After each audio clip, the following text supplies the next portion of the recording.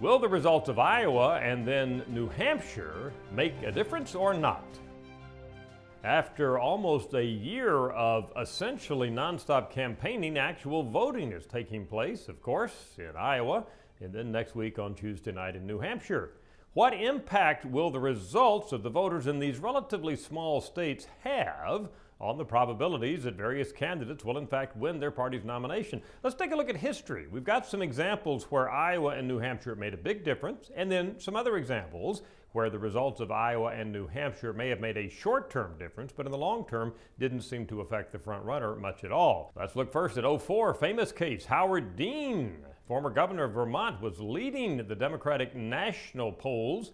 Then came Iowa, he lost, he screamed.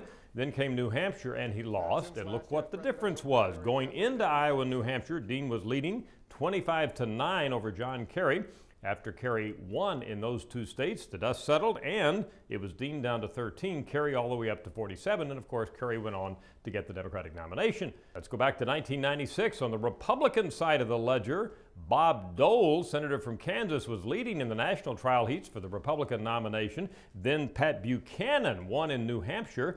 The dust settled and, well, Buchanan gained some. He went from 7 pre-New Hampshire to 25% of the national polls after New Hampshire, but Bob Dole managed to hold on to his lead. It dropped a few points, but he was still ahead of Buchanan after New Hampshire, and of course, Dole went on to get the Republican nomination. Let's go back to 1980, another example where primary results didn't make a huge difference. Ronald Reagan was leading over George Bush Sr. significantly before Iowa. Bush won narrowly in Iowa and caught up with Reagan. The two were tied after Iowa, but the primaries continued. Ronald Reagan moved out ahead, and of course, Reagan got the nomination in 80 and went on to win the presidency.